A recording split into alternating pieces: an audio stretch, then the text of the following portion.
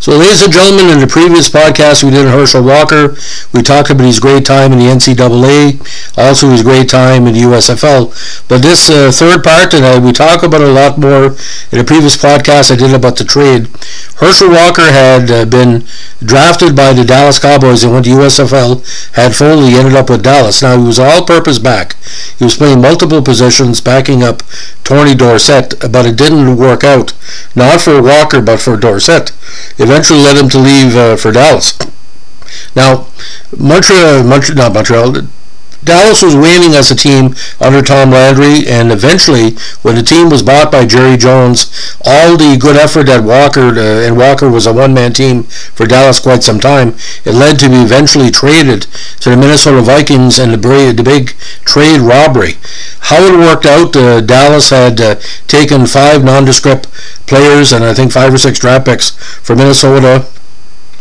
For Walker Eventually, those if those uh, those trade pieces weren't kept to be extra draft pieces, and it led to uh, Emmitt Smith, uh, Darren Woods, and Russell Maryland, and everybody. But ladies and gentlemen, you got to understand, Minnesota was desperate at the time. They needed somebody like Herschel Walker to come in. Now, the numbers he put up with Dallas were extremely consistent uh, with kick returning, uh, running, uh, receiving. Now, Dallas had been a playoff contender before he arrived, but for some reason, Tom Landry felt that everybody involved uh, with the team should uh, should have um, uh, Walker uh, backing up the lineup. But ladies and gentlemen, when Walker was on his game, the games were were tremendous. The, you would always see Walker doing something, whether it was a big run. There was one game he had uh, two or three long touchdowns.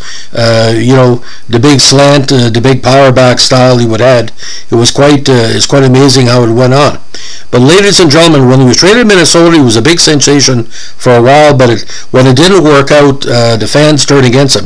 Eventually led him to be signed by the Eagles and eventually later on to the Giants and then uh, Dallas for the last part of his career.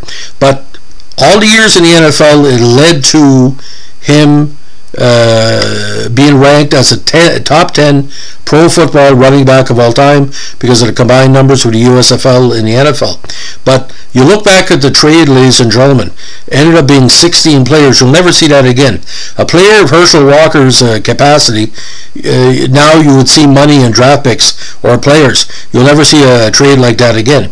Now, Herschel Walker may be controversial to many, but for me, I consider him a, a top three college player of all time and a, a, top 20 NFL and USFL player of all time because when he played, you couldn't take your eyes off him. So whether you like him or not, Herschel Walker has been there for the for the, the fans of him. He always was doing something positive on the field, whether you liked him or not. But boys are boys, ladies and gentlemen. You'll never see a player like Herschel Walker ever again. Uh, meteoric rise. The 1980s belonged to him on a lot of levels. So thanks for listening, and don't forget, Dallas stirs the drink because we're still talking about him, and he was traded over 30 years ago. Thanks for listening. Bye.